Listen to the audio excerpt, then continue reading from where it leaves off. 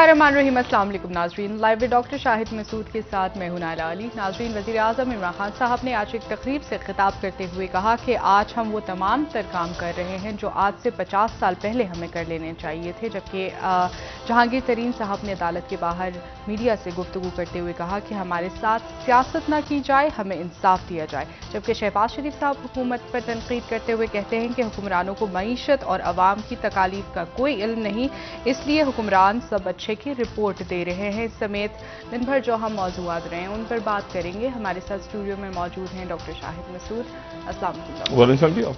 Doctor साहब आज से पहले जहांगीर तरीन साहब हमें इनडायरेक्टली बात करते हुए नज़र आए गिले भी करते थे तो इनडायरेक्टली करते थे लेकिन आज काफ़ी खुल के उन्होंने बयान दिए हुकूमत के हवाले से और उन्होंने कहा कि हमारे साथ सियासत ना की जाए हमें इंसाफ दिया जाए। क्या समझ रहे हैं कि क्या वज़ीर आज़म साहब के लिए एक और चैलेंज या हुकूमत के लिए एक और चैलेंज देख रहे हैं आने वाले नहीं देखें पहली बात तो ये कि ये तो की जा रही थी आज। लेकिन फैसला ज़ाहिर है अदालतों के एक तो ये थी और हुकूमत की तरफ़ से भी तैयारी इस बात की थी कि जहांगीर तरीन साहब जो हैं शायद उनको गिरफ़्तार कर लिया जाए जमानत ख़त्म हो जाए। उनकी जमानत जो है वो आगे अब ग्यारह तारीख को होगी। जी। यानी 11 जून वो है जो कि बजट का दिन है। बजट का दिन है। और बजट में बजट पेश होगा और उसी दिन जो है वो फिर सुबह उनकी पेशी है तो अब देखते हैं कि उस दिन क्या होता है। दूसरी बात जो है, वो ये है कि इमरान खान साहब के सामने ये बहुत कुछ करने के अब बेहतरीन दिन है अगले चंद। और उसमें पीडीएम भी नहीं है। उनके अंदर तोड़फोड़ हो गई है। पीडीएम के अंदर ज़ाहिर है पाकिस्तान पीपल्स पार्टी की अपनी एक लाइन है एएनपी की अपनी लाइन है। मुस्लिम लीग नून जो है, उनकी एक अपना एक सिलसिला है, वो चल रहा है। वो जैसे अपोजिशन एक अपोजिशन और वो भी बहुत माइल्ड अपोजिशन यानी इस वक्त वो कोई एक्टिविटी भी नहीं कर रहे। तो अब बहुत सारे जो वज़रा हैं उनको अब हुकूमत की परफॉर्मेंस बतानी है आगे। और हम्म। तवज्जो लोगों की उस जैसे मैंने कल कहा था कि वज़ी अजम साहब ने जो टेलीफोन कॉल्स मौसू की और उसमें लोगों के इश्यूज़ को रिजॉल्व किया।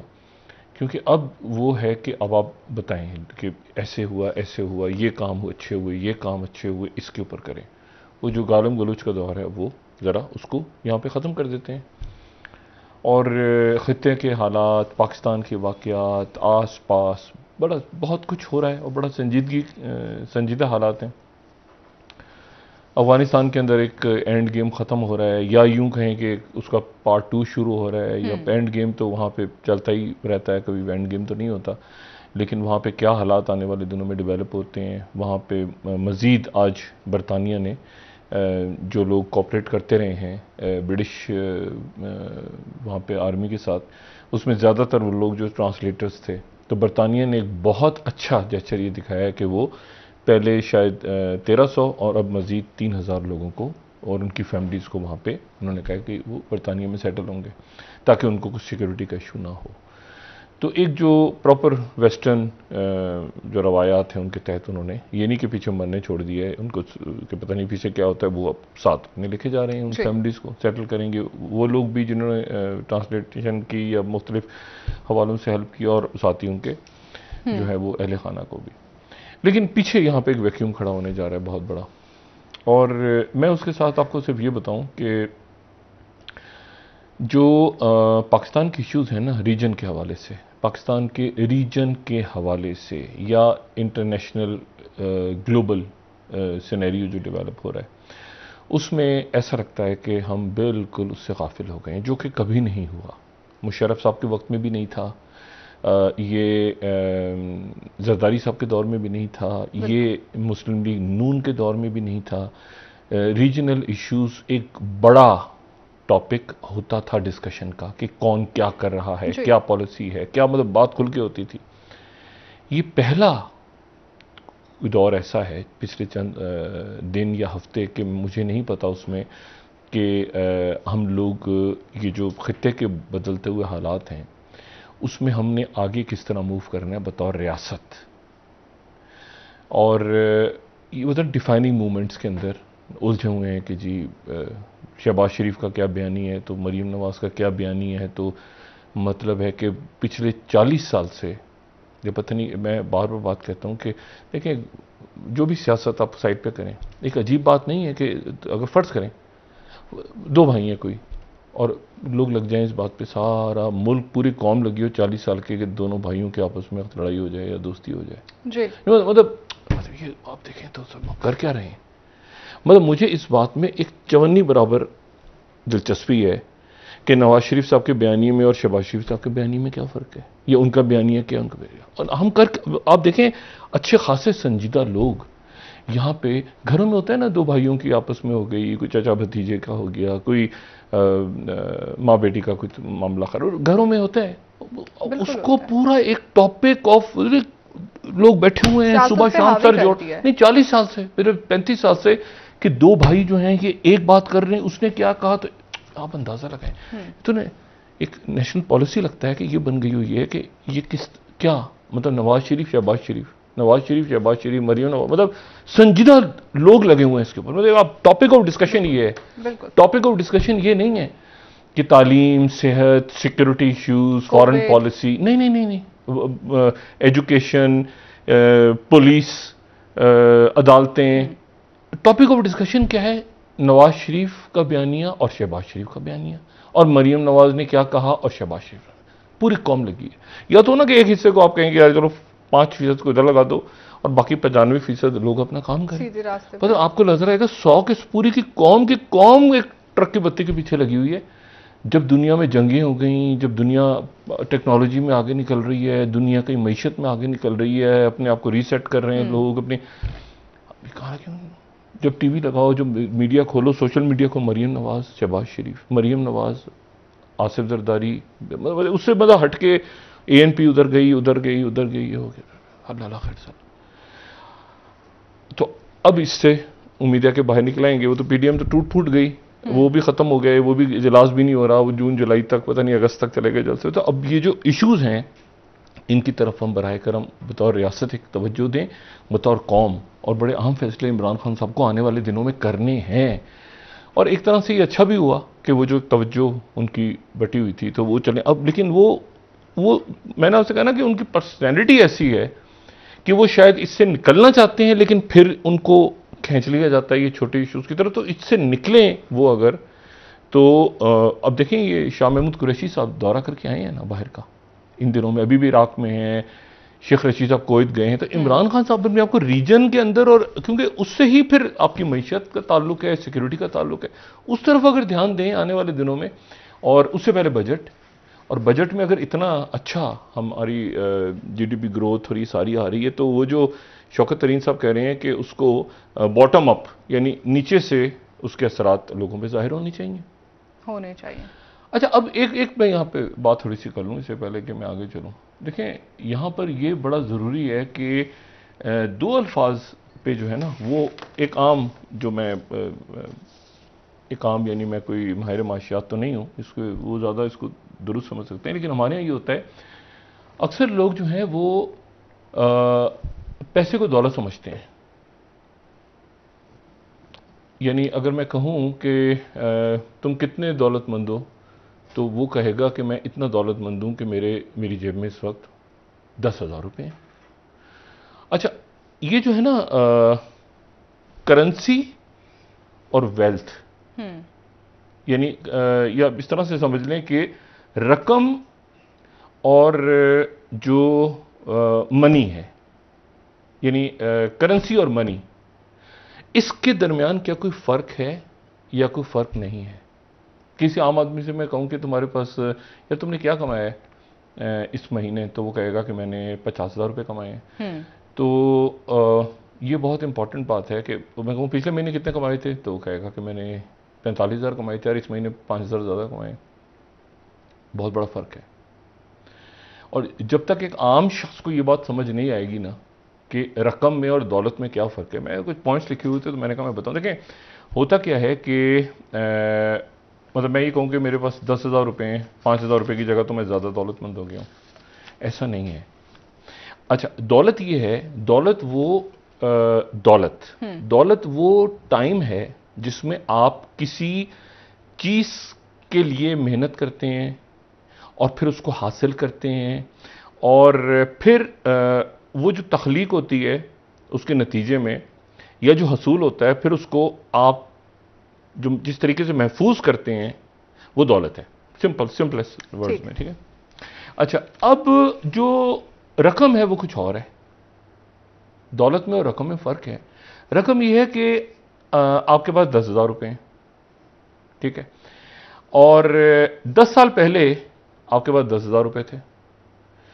अच्छा दस हज़ार दस साल पहले अगर आपके पास एक फ़र्ज़ करें या महीना पहले या दो महीने पहले आपके पास एक आपने पेट्रोल रख दिया और उसका एक या किसी और शक्ल में कोई चीज़ स्टोर की हुई थी गंदम या कोई और ये था अब वो जो है वो तो आपके पास एक कमोडिटी एक सेफ़ है एक चीज़। लेकिन जो आज से तीन महीने पहले के भी पाँच हज़ार रुपये हैं वो आज के पाँच हज़ार रुपये नहीं है। आज से दस साल पहले के दस हज़ार रुपये आज के दस हज़ार रुपये नहीं है।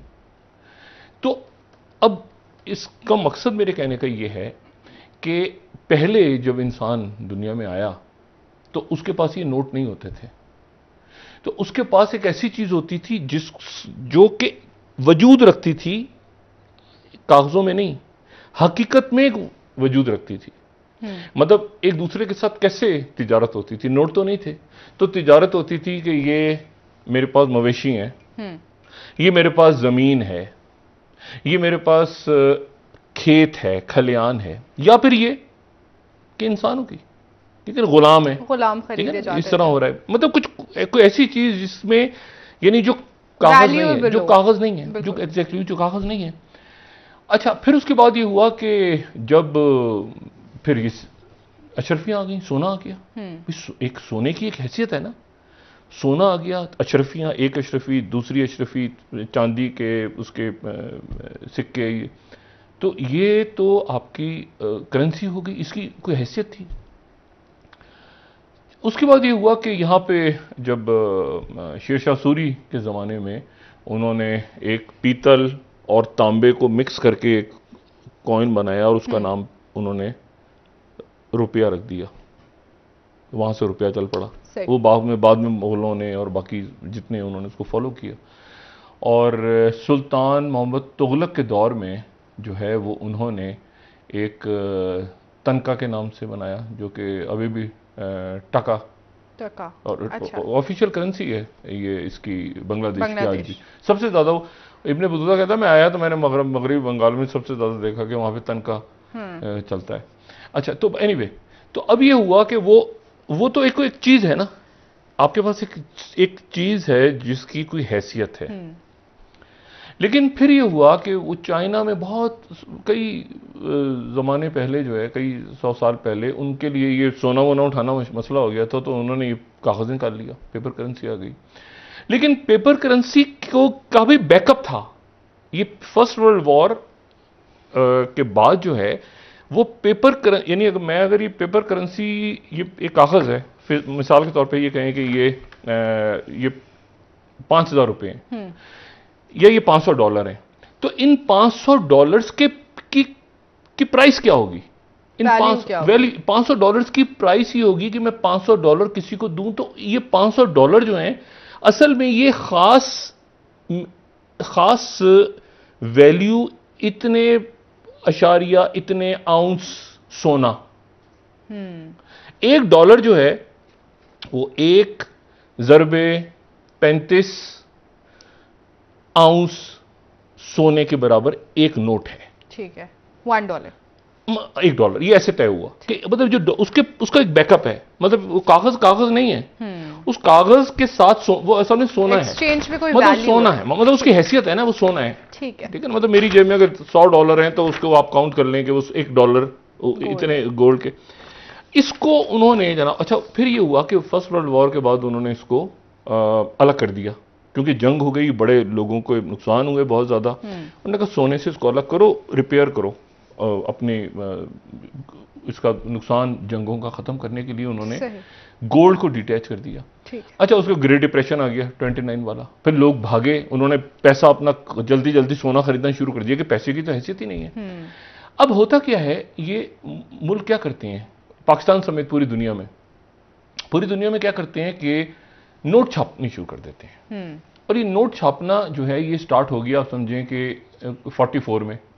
ठीक है 44 के अंदर जो ब्रेंटन वुड पहले भी ज़िक्र कर चुके हैं कि वहाँ पर हेमशायर में जिसके बाद फिर आईएमएफ बनी और ये सारी बनी मैं आपको बता रहा बताने जा रहा हूँ ये बात क्योंकि जयशंकर जो आए हैं ना वहाँ से हम्म। अमेरिका से तो ये मैसेज लेकर आए हैं कि आपने चाइना से लड़ना नहीं है ठीक है ये ये बड़ी ये बड़ी खौफनाक बात है जो उनसे चाइना से लड़ना नहीं चाइना को इंगेज करना है. अच्छा अब मैं उस मैं, मैं उस जी जी जी मैं उस सने और नतन की गवर्नमेंट गिरने के क्या असरात हैं जी, उससे बात करता हूँ। लेकिन मैं जरा इस बात को क्लियर पैर करूँ कि अब हुआ कि होता क्या है कि वो जितने ज़्यादा अब नोट मतलब पाकिस्तान में नोट छापने शुरू कर दिए डॉलर छपने शुरू हो हम्म। गए ठीक है?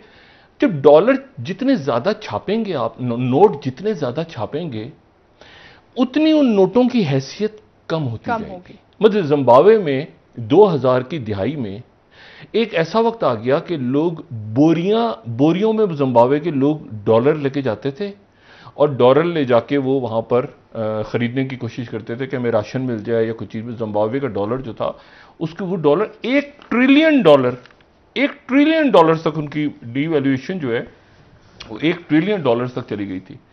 यानी एक ट्रिलियन डॉलर जो है वो बराबर है, जिम्बाब्वे का एक ट्रिलियन डॉलर जो है वो चालीस सेंट के बराबर है अमेरिकन। एक ट्रिलियन डॉलर जिम्बाब्वे का एक ट्रिलियन डॉलर चालीस अमेरिकन सेंट्स के बराबर है। वैल्यू इतना आप होता एक ट्रिलियन नहीं आप जरा सोचिए ना उसके नोट्स नोट किस हिसाब से हम्म। अब होता क्या है कि वो जब नोट आप ज़्यादा छापना शुरू कर देते हैं हम्म। तो उसके नतीजे में आपकी जो अ, उसकी हैसियत खत्म होना शुरू हो जाती है। है। नोटों की हैसियत खत्म होना शुरू हो जाती है तो वो चीज़ आती है जो कहते हैं महँगाई। हम्म। क्योंकि बहुत ज़्यादा नोट है ना। नोट बहुत ज़्यादा है लेकिन वो चीज़ तो अपनी जगह पे ही है ना। और नोट ज़्यादा छाप रहे हैं कि जी ज़्यादा ज़्यादा ज़्यादा। अब आप कह रहे हैं कि ये चीज़ जो है ये किसी ने तैयार की है लेकिन नोट आपके पास आहिस्ता आहिस्ता वो इन्फ्लेशन इन्फ्लेशन जब बढ़ती है तो फ़ायदा किसको होता है? यानी जब नोट ज़्यादा छापते हैं तो हुकूमत को या उस अदारे को सेंट्रल बैंक को किसी भी मुल्क के उनको फ़ायदा हो रहा होता है। ठीक है? उनको फ़ायदा हो रहा होता है कि वो नोट छाप छाप के छाप छाप के लोगों की महँगाई जारी होती है। ना कहते हैं आपकी तनख्वाहें तो हमने बढ़ा दी है ना। हाँ। अच्छा वो तनख्वाहों से इशू होता है। इशू ये बिल्कुल भी नहीं होता कि महँगाई। इशू ये होता है हमने तनख्वाहें बढ़ा दी। इशू ये होता है हमने आपको दस हज़ार रुपए ज़्यादा दे दिए हमने आपको पाँच सौ डॉलर और दे दिए हमने आपको पचास हज़ार रुपए दे दिए। ये इशू नहीं होता क्योंकि वो मैंने आपसे कहना कि दो अलग चीज़ें हैं। करेंसी अलग है मनी अलग दौलत अलग है। दौलत वो है जो कि चीज़ आपके घर में मौजूद है। यानी यानी उस किसी फॉर्म में मौजूद है जो आपने अर्न किया है। आटा है गल्ला है मवेशी है तारीख में वो वेल्थ है। वो वेल्थ वो आपकी वेल्थ है वो आपकी वो आपकी चीज़ है।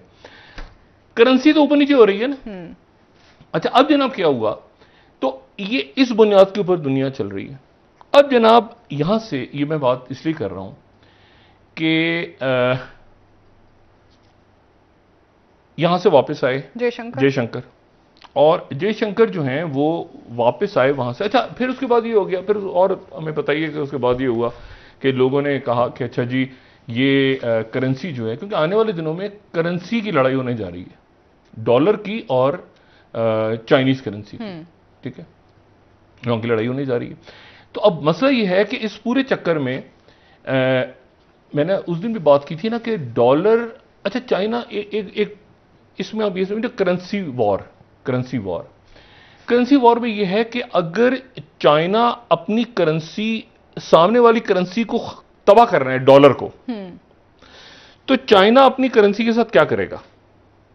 उस करेंसी की वैल्यू बढ़ा देगा या करेंसी की वैल्यू कम करेगा? चाइना अपनी करेंसी की वैल्यू कम कर देगा। ठीक। यानी यानी करेंसी की वैल्यू कम करेगा तो उसके नतीजे में क्या होगा कि अगर कोई अमेरिका में बैठा है या कोई यूरोप में बैठा है तो उसने कहा चाइना में तो बहुत सस्ते में काम हो रहा है तो ये चीज़ चाइना से मंगाओ। अब समझिए तो ये चीज़ इसकी तो चाइना में तो बहुत सस्ता काम हो रहा है। मतलब एक डॉलर के बदले पहले मुझे मिलते थे आठ वहाँ का आठ से आठ करेंसी मिलती थी अब मुझे मिल रही है सात या मुझे मिल रही है छह तो ये तो बहुत सस्ता हो गया है। हम्म। ठीक है?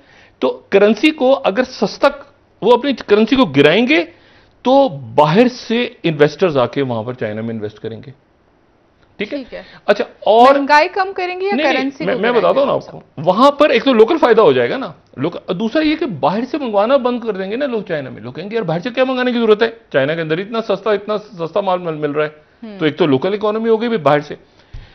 2019 में क्या हुआ था? जो ट्रेड वॉर हुई तो अचानक चाइना ने अपनी करेंसी की कीमत गिरा दी। अपनी कीमत गिरा दी। उसके नतीजे में क्या हुआ कि ट्रंप ने कहा एक मिनट ठहर जाओ जरा। ये तो सारी की सारी मेरी कंपनियाँ वहाँ तो उस, उन्होंने ये कहा कि फिर वहाँ से जो चीज़ आएगी चाइना से उसके ऊपर ज़्यादा ड्यूटियाँ लगेंगी। ड्यूटी तो ड्यूटी बढ़ा दी। क्योंकि आप समझो बात यानी जी। अच्छा अब मसला ये है कि चाइना ने ये अगर देखना हो ना कि ट्रेड वॉर कैसी जा रही है तो आप सिर्फ़ डॉलर अमेरिका और चाइना की करेंसी का तवाजुन देखें। चाइना अपनी करेंसी जैसे ही नीचे करेगा वो अमेरिका वहाँ से उछलेगा। ये ये ये करेंसी वॉर है। करेंसी वॉर में आपने अपने आप को गिराना है ताकि दूसरा ये जो है वो दूसरा इधर आके इन्वेस्ट करे। अच्छा देखिए दूसरा सरमाकारी करे यार वहाँ करो वो तो सस्ती जगह है वो तो सस्ता काम मिल रहा है वो तो ये हो रहा है वो हो रहा है। और डॉलर महँगा यार डॉलर के कौन बाहर से मंगाने की क्या ज़रूरत है? यहाँ से खरीदो ना चीज़ें सारी। आप सोचे ना डॉलर दो सौ रुपए का हो जाए तो लोग बाहर से मंगाना बंद कर देंगे पाकिस्तान में। और डॉलर अगर अस्सी रुपए का हो जाए या, या आपका रुपया स्ट्रांग हो जाए तो लोग यहाँ पे रुपए में शुरू कर देंगे काम। ये करेंसी वॉर चल रही है दोनों में। अब जनाब क्या हुआ है कि जयशंकर जी जो वहाँ गए हैं तो जयशंकर जी को ये- अहकामात क्या मिले नहीं? अहकामात ही मिले हैं। देखें इनकी मुलाकात एक तो कर्ट कैम्बल से हुई है ना। कर्ट कैम्बल और ये जो आ, उनके साथ जैक सोलिवन देखिए ये बात जहन में रखनी चाहिए कि उन्होंने पहले क्या कहा था। फॉरेन अफेयर्स का आ, चंद माह पहले जब वो आए नहीं थे अपनी जगहों पे जैक सोलिवन और दिखाएँगे जरा उसमें। वो कह रहे हैं कॉम्पिटिशन विदाउट ये उनकी पॉलिसी ये है कि आपने इंगेज करना है। लड़ना नहीं है ग्रे जोन में हैं हम।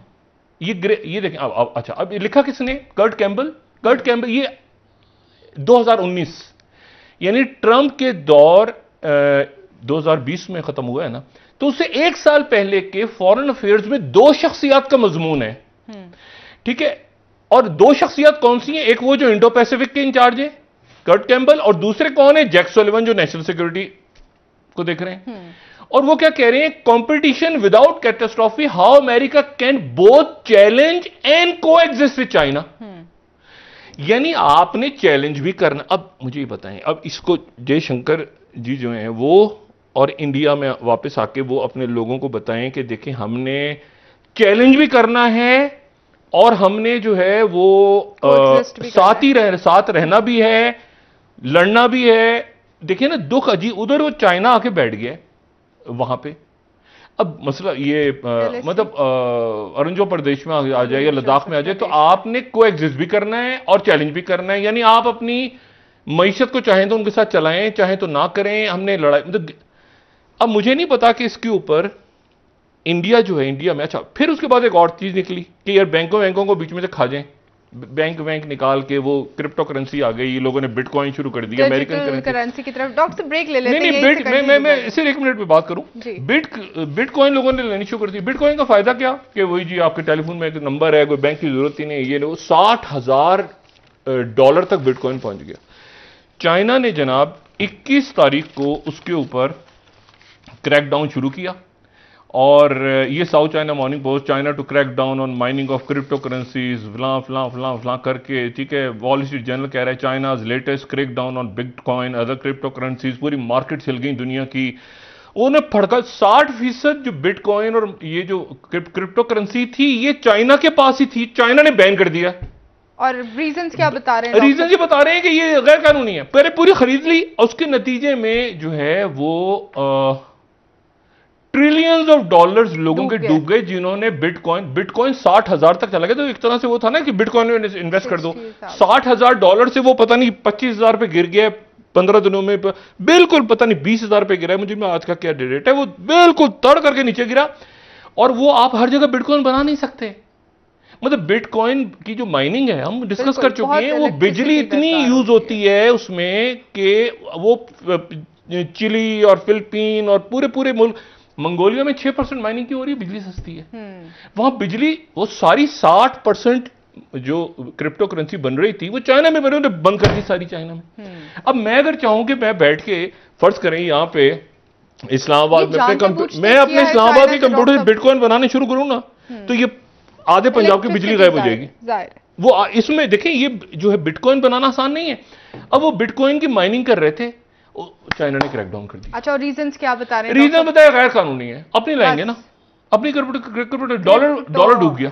लोगों का डॉलर डूब गया। अपनी डिजिटल करेंसी मैं आपसे बात ही कह रहा हूँ कि जब आप इन्वेस्ट करते हैं ना कि जो मैंने बात की रकम में करेंसी में ये यानी उन्होंने डिजिटल करेंसी को भी फड़का दिया। अब वो डॉलर को छोड़ेंगे आपका ख्याल है? जब उन्होंने डिजिटल जो मैं बार बार बात कह रहा हूँ कि जब आप लोन्स की बात करते हैं आप कहते हैं जर मुबादला के जखायर सबसे ज़्यादा दुनिया में जर मुबादला के जखायर जो है वो चाइना में जो ये है कमाल की बात आपको पता है कि डॉलर्स में जो जखायर हैं ये तय हो गया था ना वही 1944 के ब्रेंटवुड के आपने अपने पैसे डॉलर्स में रखने हर मुल्क ने डॉलर्स में रखने पैसे पाउंड से डॉलर्स पे। अमेरिका इक्कीसवें नंबर पे। अच्छा इक्कीसवें नंबर जी। और चाइना पहले नंबर पे डॉलर्स इक्कीसवें नंबर पे। लेकिन सोना सबसे ज़्यादा अमेरिका के पास अमेरिका के गोल्ड अमेरिका के पास है। देखिए असल बात क्या है कि गोल्ड ये जो हमारा वर्ल्ड बैंक है जिसका नाम ही गलत है वर्ल्ड बैंक तो ये होना कि पूरी दुनिया के लोग पैसे रखवाए। उसका नाम ही पता नहीं क्या रखा वर्ल्ड बैंक आलमी बैंक ओ भाई वो कर्जे देने के लिए बना था। जी सर डिफरेंस इसमें आपसे जानेंगे। यानी मैं जाके वर्ल्ड बैंक में अपना अकाउंट खुलवाऊं। उधर ऐसे गलत नाम ब्रेक ले लेते हैं। वापस आके आपसे मजीद बात करेंगे। नाजरीन एक ब्रेक हमारे साथ रही है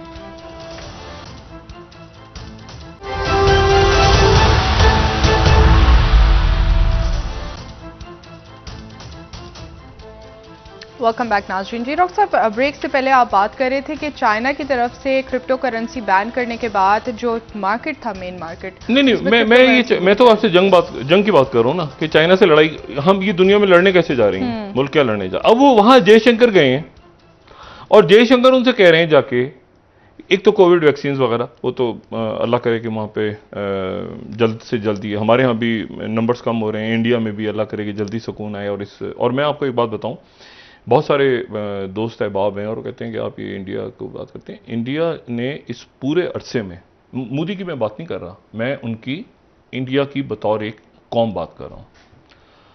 खूब मुकाबला किया उन्होंने बड़े चैलेंजेस का। और मैं उनको बतौर एक कौम इस पर मुबारकबाद भी देता हूँ। एक ही वक्त में जंग भी चल रही है। हम्म। उसी वक्त में जो है वो आ, मुल्क में कोविड फैल गया। उसी वक्त में जो है वो बेशुमार लातादाद मसाइल खड़े हुए। लेकिन उनके ये जो बहुत सारे लोग आपको लगते हैं ना कि उनके वॉर मॉन्गर्स के हैं या सख्त बात कर रहे होते हैं पाकिस्तान के बारे में मेरा तासर यह है कि वो अपना इसलिए कि मॉरल डाउन ना हो। ऐसे हालात में जो मॉरल डाउन ना हो तो ये है वो जो भी जो भी हो रहा है उन्होंने अपने लोगों के अंदर उन्होंने वो दम पैदा करके रखा बजाय इसके कि सारे लोग ठुस होकर पड़े हो जाते हम्म। और उनकी सिविल सोसाइटी निकली उनके लोग निकले एक दूसरे की मदद की। तो ये हमें बहुत कुछ सीखना भी चाहिए। एक जंग भी चल रही है बड़ी जंग उस डिप्लोमेसी भी साथ चल रही है ये भी चल रहा है वो भी चल रहा है। मोदी सरकार ने उसका हैंडल कैसे किया उसको छोड़ दें वो तो छोड़ दें। मैं कौम बतौर कौम उनके जब देखता हूँ उनके लोग निकल रहे हैं उनके एनजीओ निकल रही हैं उनके डिप्लोमेसी डिप्लोमेसी कैसे हो रही है किस तरह करना है उन्होंने ये पोज में बीच में सिर्फ़ आप वो बहुत जो है ना वो इस बहरान ऐसे बहरान नहीं फिर कौमों को आगे बताती है ना कि कौमें आगे निकल रही हैं पीछे निकल रही हैं तो कौम बतौर कौम उन्होंने इस इन सारे बहरानों को अच्छा फेस किया। आगे क्या करना है? ये एक रौला रप्पा है। हम्म। उसकी वजह यह कि ये स्टैनफोर्ड यूनिवर्सिटी में ये वहाँ पे गए हुए थे जयशंकर। अब स्टैनफोर्ड यूनिवर्सिटी में उन्होंने तकरीर क्या की है? ये इधर दिखाएँगे?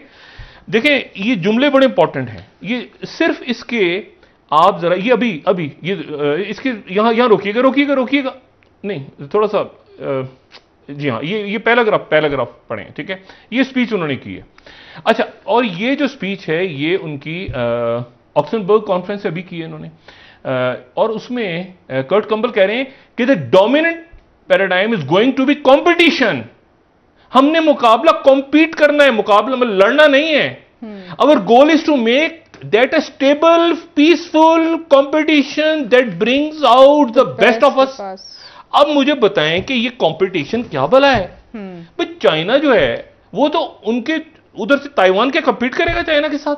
यानी कह रहे हैं आप कंपीट करो। कंपीट यानी जयशंकर जाओ बच्चे जाओ जाके वो कंपीट करना है लड़ना नहीं है अभी आपने। हम्म। मतलब छोड़ दें का हमने पीसफुल ओ भाई पीसफुल आपके वहाँ पर उसने उन्होंने चढ़ाई कर दी। क्वाड बन बन गया फ्ला बन गया वो अब मुझे बताएँ कि ये तो अजीब मामला हो रहा है। अच्छा उसके बाद वो जनाब नतन याहू अपनी, उनकी जनाब रात को ठुस ठुस, वो अच्छा साथ ही क्या हुआ? वो उनका अलाइंस बन गया गवर्नमेंट उनकी किसी वक्त भी गिर जाएगी। गिरी गई एक तरह से। और रात को वो आदमी बिल्कुल, मैंने उसकी स्पीच सुनी रात को, जो उस बंदे ने स्पीच की है। अब देखिए, हर, हर्ट्स क्या खबर दे रहा है। Netanyahu is back and everybody in politics knows that अब देखें ना लोगों ने Jerusalem Post is Israel entering the post Netanyahu era ये ये इवेंट्स हैं in Washington Post Israel Netanyahu fights to block opposition parties from taking part अभी तक वो लड़ रहा है क्योंकि यहाँ से उसने जेल जाना है। hmm. अच्छा और उसके बाद जनाब यहाँ से उसने जेल जाना है। और जेल जाना है दो चीज़ें करप्शन के साथ साथ अब वो जंगी जराइम वाला भी शुरू हो गया। जी जंगी जराइम देखिए ना अकवाम मुतहदा करारदाद हो गई। अब इस पूरी पिक्चर में एक और कहानी हुई है। वो कहानी ये हुई है कि इजिप्ट ऊपर आ गया जो कि कई बरदर ममालिक को समझ नहीं आ रहा कि इजिप्ट को ये रोल क्यों मिला है? और साथ ही इजिप्ट और टर्की की बातचीत शुरू हो गई है। हम्म। इसको भी कुछ अच्छी पसंद की निगाह से देखा नहीं जा रहा कि टर्की और इजिप्ट इजिप्ट दो अलग अलग कैंप्स में थे लिबिया के अंदर। बिल्कुल टर्की हमायत कर रहा था जो कि अकवाम मुतहदा की कायम करदा एक ट्रिपली के अंदर एक हकूमत है उसकी। हम्म। और मुखालिफ साइड पे रशिया यूएई ये सारे ममालिक दूसरी तरफ़ थे। इजिप्ट के। इजिप्ट भी उधर ही था। अब इजिप्ट चला गया टर्की की तरफ़। इसका असर बरह रास्त पड़ेगा लिबिया के ऊपर और पड़ेगा इसका असर मेडिटेरियन ईस्टर्न मेडिटेरियन में। ठीक है? जहाँ पे वो साइप्रस का मसला और वो ग्रीस का मसला और ये। ये पसंद नहीं आ रहा। साथ ही सोने पे सुहागा वो मोहम्मद दाइव जो है वो बंदा जिसको मैंने बताया था कि जो जिसके एक आँख ज़ाया हो गई और जिस पे चार पाँच दफ़ा एसेसिनेशन है 2014 में उसके वो या आयश का जो धमाका खेज मवाद बनाने वाला बताया था ना वो तो तैयारी करता था वो जिसके जिसके लिए अटैक्स हो रहे थे और जिसको ढूंढा जा रहा ढूंढा जा रहा है ढूंढा जा रहा है। वो भाई साहब ने अपनी ऑडियो रिलीज़ कर दी। एक्सपेक्टेड था डॉक्टर रिलीज़ कर दी उन्होंने? वो अच्छा वो रिलीज़ कर दी उन्होंने? ये आर्टिफिशियल इंटेलिजेंस फलाना ढिमाकना ये लटम पड़। अब मुझे बताएँ कि किसी पे तो मलबा डालना था ना? तो मलबा किस पर डल गया नतन याहू पे अच्छा नतन याहू जो है ऑडियो में क्या कह रहे हैं ऑडियो में कह रहे हैं अब उसको तो था ना मर गया है खप गया है क्या हुआ है पता नहीं क्या हाँ। वो, वो निकल के आ गया अट्ठारह तारीख को जनाब ईरान का इलेक्शन है, है। ये अशरफ गनी आज कह रहे हैं कि अफ़गानिस्तान के अंदर ही गुफ्तु होनी चाहिए अफ़गानिस्तान से बाहर नहीं होनी चाहिए यानी हम्म। एक तरह से इस्तांबुल की समिट को उन्होंने रद्द किया ठीक है? अगर मैं उनकी बात को सही तालिबान भी तो नहीं नहीं नहीं नहीं वो तालिबान तो तैयार थे ना दुनिया तो तैयार थी। देखें तुलू न्यूज़ में उनका कोट कर रहा हूँ। Karzai seeks peace talks among Afghan within Afghanistan मैं उन्हीं मैं रेफरेंस भी देता हूँ कि उन्हीं का कोट अब यानी इसका मतलब है कि जो इस्तांबुल का प्रोसेस था वो होल्ड हो गया। हम्म। अशरफ गनी साहब जो है वो सॉरी हामिद कर दी अशरफ गनी नहीं हामिद कर दी वो हामिद करजई जो इससे पहले से पीस प्रोसेस की बात करे थे तो यानी within Afghanistan within Afghanistan कैसे होगा? तो क्या लोग बैठेंगे? तालिबान हम्म। बैठेगा? पहले तो दोहा में था तो दोहा से वो टर्की चला गया था तो वो एक वहाँ पे डेडलॉक है। साथ ही देखिए ये जब स्टार्ट हुआ था ना लोगों ने सेव करना शुरू कर दिया। मतलब है कि पाकिस्तान के पास ज़र मुबादला के ज़खायर कितने हैं? इतने डॉलर्स हम्म। में हैं। अच्छा ये इतने ये तय हो गया ना कि सारे मुल्कों ने आईएमएफ के साथ और वर्ल्ड बैंक की वर्ल्ड वॉर खत्म हुई तो तय हो गया कि सबने डॉलर्स में करना है पाउंड से पहले पाउंड्स में करते उससे पहले सोने में करते थे अब जो सेफ़ करना है वो इतना है कि पाकिस्तान के पास ज़र मुबादला के ज़खायर इतने अरब हैं छह अरब हो गए सात अरब हो गए। वो टिपिकल आईएमएफ के जहन से हम निकल नहीं पा रहे ना। हम्म। अच्छा अब ये लोगों ने कहा कि अच्छा इससे बचने का और क्या तरीका है? क्रिप्टो करेंसी में इन्वेस्टमेंट कर दो। क्या हम्म। ना उसका कोई रिकॉर्ड है? ना कंप्यूटर पे आपको बैंक ही नहीं आता बीच में। इसी के ऊपर आप कंप्यूटर नंबर डालो टुक टुक टुक टुक करके नंबर डालो इधर से उधर उधर से उधर उधर। वो जनाब उधर शुरू किया। वो चाइना ने पूरी की पूरी दुनिया से पहले 60 परसेंट बिटकॉइन को ले आए अपनी यहाँ क्रिप्टो करेंसीज को सबको लेकर आ गए। ये बिटकॉइन की आपको पता है एक बिटकॉइन की प्राइस क्या थी? जब भी आया है मैं भी देखिए सिफर अशारिया सिफर सिफर सिफर आठ डॉलर। सिफर यानी तीन यानी अशारिया के बाद तीन सिफर आठ डॉलर। 2010 हम्म। में थे। हम्म। और अभी चंद रोज पहले तक यह था पैंसठ हज़ार डॉलर का एक। जी। यानी आप देखें लोगों की इन्वेस्टमेंट्स लोगों ने खामोशी से इतनी बिट इतना बिटकॉइन खरीद लिया था कि अरबों डॉलर उड़ गया लोगों का। हवा हवा में है ना बिटकॉइन इधर कोई भी नहीं नहीं नहीं डूब गए मर गए एक बिटकॉइन खरीदा हुआ था। मतलब लोग देखे ना उसको मतलब है कि बिटकॉइन के उन्होंने उड़ा दी अमेरिकन हम्म। पूरी की पूरी इन्वेस्टमेंट्स अच्छा अब वो जनाब अब कोई सिंगापुर कह रहा है कोई कह रहा है किसी और जगह ले जाएँ कहाँ ले, जहाँ ले जाएँ वो ये आसान नहीं है। ये वहाँ ये मंगोलिया मंगोलिया में बिजली सोलर प्लांट जहाँ पे बिजली बन रही है लगे हुए हैं बिटकॉइन माइनिंग हो रही है साल साल से माइनिंग हो रही है। टक करके उन्होंने बंद कर दी। अच्छा अब मसला यह है कि ये पाकिस्तान ने और बाकी मुल्कों ने ये तय करना है कि जब हमारे ऊपर डॉलर ये करेंसी वॉर आएगी। ये इसको कंपटीशन को अब देखिए ना मुझे नहीं पता इंडिया इसको कैसे लेगा कि हमने एक स्टेबल कंपटीशन करना है। तो कंपटीशन कैसे कर आप कंपीट कैसे करेंगे लद्दाख में? देखिए ना इसके पीछे अमेरिकन अगर एंगेज हो गए हैं जी सर ब्रेक ले ले अमेरिकन कह रहे हैं कि हम कंपीट करेंगे दुनिया की मार्केट में और उधर छिड़ गई लड़ाई। हाँ। लद्दाख और आगे अरुणाचल प्रदेश और ताइवान और इधर उधर पहले उस जगह टिकटॉक बंद करो अच्छा वो मंगाते हैं अगर सामान उधर से ओपन करते हैं अपनी तो यहाँ की मार्केट गिरती है तो मुझे बताएँ कि अब अमेरिकन जो हैं अगर वो कह रहे हैं हमने कंपटीशन करना है तो कंपीट करने के लिए तो फिर आप उस मार्केट में इस बार तो वो इंडिया मार्केट अपनी खोले नहीं खोले तो फिर क्या मेड इन अमेरिका चीज़ें मंगाए हाँ। देखिए ना बिट मतलब इसका इसको कैसे इंडिया आगे लेके जाएगा? ठीक है डॉक्टर और इंडिया समेत बाकी सारे ममालिक हम भी। जी बेहतर। डॉक्टर साहब आपसे मजीद बात करेंगे। नाजरीन एक ब्रेक ले इन्वेस्टमेंट हमारे यहाँ डॉलर्स में हो रही है। हम्म। सारे मुल्कों की। वो ये डॉलर्स फ्यूचर की करेंसी नहीं है। ठीक है डॉक्टर साहब ब्रेक ले लेते हैं। नाजरीन हमारे साथ रहिएगा।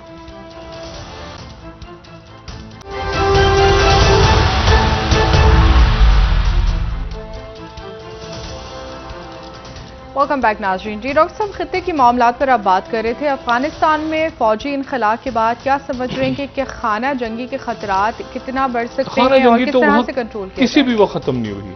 हम्म। वहाँ पर ये ग्रे जोन की लड़ाई तो मेरा ख्याल है कि कई बदकिस्मती से कई दहाइयों से है वहाँ पे। बिल्कुल।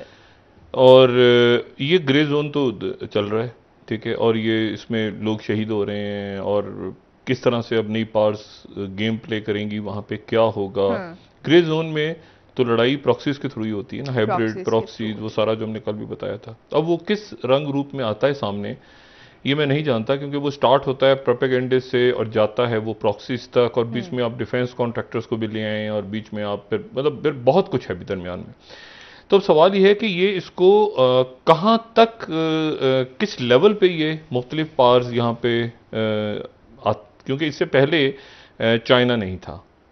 इससे अच्छा रशिया की तरफ़ से मैसेज गया है समिट से पहले जो अगले महीने मुलाकात होने जा रही है। लेकिन बड़े बहुत इंपॉर्टेंट इवेंट्स हो रहे हैं। वो असल में पाकिस्तान के हमारे जो लोग वो चूँकि अंदरूनी उसमें इतना फंसे हुए हैं इंगेज हैं। वो वहाँ पर उन्होंने प्यूटिन ने ये मैसेज दिया है प्रेसिडेंट बाइडेन को। कि जो मुलाकात होने जा रही है उस जो 16 तारीख को और उससे पहले यूरोप में एक दिन पहले ब्रसल्स में होगी ईयू के साथ। तो प्यूटन ने मैसेज दिया कि उससे पहले मजीद थोड़े से मेरी तरफ़ से सिग्नल्स अमेरिका ज़रा और सिग्नल्स आएँगे। उनके स्पोक्स पर्सन उनके मीडिया और और सिग्नल्स हमारी तरफ़ से आएँगे तो उससे ज़्यादा घबराएँ नहीं। मतलब बाइडेन जी आपने घबराना नहीं है। हम्म। ठीक है तो आने से हाँ आने से पहले देखिए ना आने से पहले नतन याहू ठीक है? उससे पहले ये जो ईरान के साथ जो माहिदा है ये अपने आखिरी फ़ेज़ में दाखिल हो रहा है। हम्म। बेशुमार ममालिक ऐसे हैं जो इस वक्त ये सोच रहे हैं कि ये कॉम्पिटिशन का क्या मतलब है? मतलब जंग करनी है इतिहादी होना है कंपीट करना है कैसे? मतलब कैसे होगा? मतलब ये लड़ाई की शक्ल क्या होगी? हम्म। ठीक है ना? मतलब ये भी ग्रे जोन में ही होनी है ना लेकिन इसमें कंपटीशन करना है आपने लेकिन कंपटीशन में अगर वो ताइवान के सर पे आके बैठ गया चाइना जो चाइना ने लेना है। लेकिन अरुणाचल प्रदेश चाइना ने लेना है जो उनका मैप है ना शी जिपिंग उससे पीछे नहीं जाएँगे। हम्म। उससे वो जो उनका पुराना मैप उनका वो है उससे पीछे उन्होंने नहीं जाना। टेरिटरी नहीं हाँ वो अपनी टेरिटरी वो जहाँ आ गए तो आ गए। और फाइबर ऑप्टिक्स बिछ रहे हैं वहाँ पे पूरा उनके नए मैप्स के अंदर ही शामिल हो गया सारा। हम्म। ये तिब्बत से वो तिब्बत उन्होंने लेना है। ये कुछ चीज़ें उन्होंने लेनी है उनकी है। अच्छा मसला ये सारा कि ये अब वापस आके अब आप ये सोचें कि उनके साथ लड़ना भी है उनके साथ कंपीट भी करना है तो वो मार्केट फिर उधर जाएगी या इधर जाए मुझे बताएँ ये बिटकॉइन की जो माइनिंग है हाँ। ये बिटकॉइन की माइनिंग क्या इंडिया में करेंगे ये बिटकॉइन जिस लेवल पे माइनिंग जिस लेवल ट्रिलियन ऑफ़ डॉलर्स लोगों के उड़ गए हैं दुनिया में हाँ। पिछले दस बारह दिन और अगर आपने मैंने कहा सिर्फ़ एक चीज़ देखनी हो ना अगर आप ये सिर्फ़ देखा करें जैसे रॉयटर्स वाले ये आज का है कि dollar near two month high vis a vis yuan ठीक है? अच्छा अब इसको ये देखें ना तो ये समझ जाए अगर डॉलर ऊपर गया है हम्म। और युआ नीचे गया है तो चाइना जीत रहा है। अगर युआ ऊपर गया ये बिल्कुल उल्टी उल्टी बात होती है। अगर युआ नीचे गया है तो इसका मतलब डॉलर की ऐसी तैसी फेरी है उन्होंने। क्योंकि बाहर से लोगों ने आके उधर इन्वेस्ट करना बिल्कुल बाहर से आके इन्वेस्ट शुरू कर दिया डॉलर जो है वो महँगा हो गया डॉलर की आमद खत्म हो गई अंदर। तो वो चाइना ये लड़ाई इस तरह से तो रोज आप देखते रहे ना कि तो आज जो है वो ये रोज ये आपको करेंसी वॉर नज़र आ रही है। बिल्कुल। और इसी के ऊपर उसने कहा था ट्रंप ने जब ये ट्रेड टैरिफ वेरी वाइज हुए ना उसने कहा कि ये और चाइना ने बड़ा मेंटेन रखा हुआ है। वो सेवन से सेवन से नीचे नहीं लाते. इसको इस सेवन से नीचे नहीं लाते सेवन युआ एक अच्छा, डॉलर हाँ उन्होंने six point nine nine nine कर दिया था दुनिया पूरी हिल गई थी। ठीक है? तो बात यह है कि वो उन्होंने ट्रंप ने कहा था करेंसी मैनुपुलेटर ये करेंसी वॉर शुरू करने जा रहे हैं। तो लोगों की जान निकल गई थी। उसकी वजह यह है कि अगर चाइना गिरा दे अपने युवा को किसी मरब देखे ना अचानक बिटकॉइन उड़ा दिया उसने। उड़ा दिया ना बिटकॉइन अपना अपना करेंसी लॉन्च करेगा डॉक्टर साहब क्या आने वाले हंड्रेड परसेंट आपका ख्याल है वो चाइना जो है वो चाइना मतलब है कि वो डॉलर सारा जो मैं आपसे यही तो मैं बात कह रहा हूँ कि उन्होंने जो इन्वेस्टमेंट्स हैं पूरी दुनिया में वो डॉलर्स में है। डॉलर्स में। तो ये डॉलर क्या फ्यूचर ऐसे गायब क्रिप्टो करेंसी गिरा दी है ना उन्होंने। हाँ। अब मसला ये है कि वो अगर वो मिसाल के तौर पे सेवन से वो फाइव ले जाएँ दो युवा और गिरा दें ये ऐसे कोलेप्स होगी डॉलर कोलैप्स होगा पूरी दुनिया में। मसला ये है कि वो क्योंकि लोगों ने एकदम से कहना है यार एक मिनट वहाँ जाओ सारी कंपनीज़ वहाँ शिफ्ट सारी चीज़ें वहाँ और बाहर से चाइना मंगवाएगा बाहर से मंगाने क्या डॉलर में क्या इतना महँगा डॉलर यहाँ युवा में खरीदो? और इतनी बड़ी मार्केट इतनी बड़ी अब जगह इंडिया जैसे मतलब इंडिया अब चाइना से लड़ भी लड़ेगा भी और उनसे खरीदेगा भी। देखिए खरीदारी भी करेगा चीज़ें भी लेगा और साथ लड़ाई भी हो रही होगी। और जो चीज़ें खरीदेगा उसमें वही उनके सेमीकंडक्टर्स होंगे वही उनकी टेक्नोलॉजी होगी वही उनके जो है आर्टिफिशियल इंटेलिजेंस होगी वही टेलीफोन्स के अंदर इन बिल्ड सिस्टम्स होंगे। मुझे बताएँ इलेक्ट्रोमैग्नेटिक वॉर और ये आउटर स्पेस और स्पेस यानी कि भारत लड़ नहीं पाएगा नहीं उन्होंने मना कर दिया मैं वो कह रहे हैं कंपीट करो पीसफुल ओ भाई एक मिनट देखे ना वो अजीब एक मामला। हम एक पीसफुल खत्ता चाहते हैं। अच्छा वहाँ यूएसएस वो भी घूम रहा है रोनाल्ड रेगन भी घूम रहा है एयरक्राफ्ट भी घूम रहे हैं। अब ताइवान warship वालों की जान। ऊपर से जहाज़ घूम रहे हैं। लेकिन मैसेज क्या है? We want a peaceful stable अब पीसफुल स्टेबल करना है तो असलाह लेना है नहीं लेना क्या करना है करनी है, इतना करनी। बहुत बहुत शुक्रिया है। डॉक्टर साहब, आने वाले Engage करके रखो दुश्मन के साथ इंगेज में कंपीट करो दुश्मन के साथ। जी डॉक्टर साहब आने वाले दिनों में मजीद इस हवाले से जानेंगे। ज़्यादा शोर नहीं करना। बहुत बहुत शुक्रिया नाजरीन प्रोग्राम का वक्त खत्म हुआ कल इंशाल्लाह दोबारा आपसे मुलाकात होगी। मुझे नायला अली को इजाज़त दीजिए अल्लाह हाफिज। अपने दोस्तों रिश्तेदारों को नवाह के लोगों का सब ख्याल रखिएगा अल्लाह हाफिज़।